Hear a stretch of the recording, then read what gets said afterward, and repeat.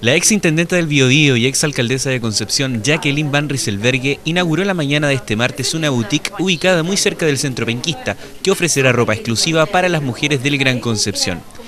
El nombre de esta tienda es Belgique y hasta el momento cuenta con confecciones traídas desde Brasil, específicamente de Sao Paulo, y pretende cautivar la atención de las mujeres de la zona, jóvenes, adultas y profesionales. La boutique se emplaza en la esquina de Tucapel con Víctor Lamas frente al sector del Parque Ecuador, el que será atendido por su propia dueña, aunque no a tiempo completo, según confirmó la exintendenta.